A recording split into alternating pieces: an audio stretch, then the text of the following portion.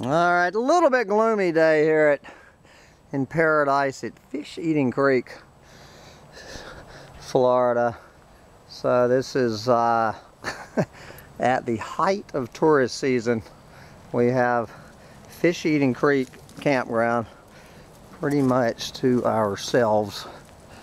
Unbelievable that one of the most gorgeous campgrounds in Florida in the oasis of freedom in the Sunshine State. Look at this. Pretty gorgeous. Anyway. The sun's going down on Fisheating Creek.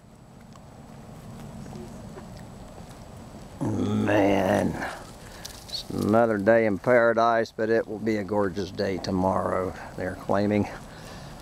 But, uh, there you go, guys.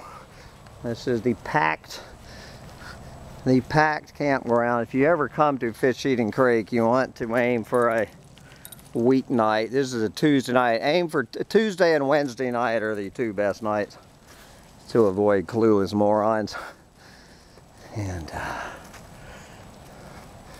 we have scored campsite 62, 62 and 16 are the two campsites you want to get. You can never get 16, but we actually, uh, we could have scored 62 for six nights in a row, actually.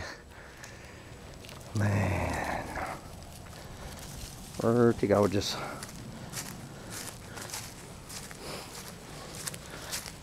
Mm. Yes, and we have hot showers and flush toilets here. Hot showers, flush toilets.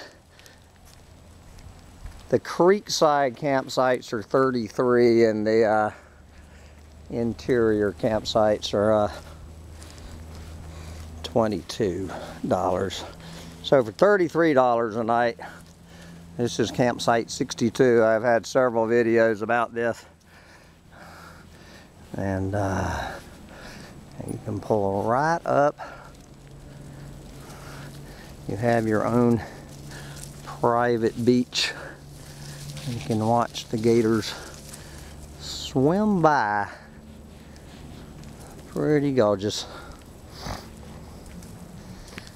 On a drizzly night in paradise. I don't know, if that's a gator floating out there in this rainy weather or... Mmm. Come see us at Fisheating Creek while you still can. That looks like the gator checking out Sancho Panza.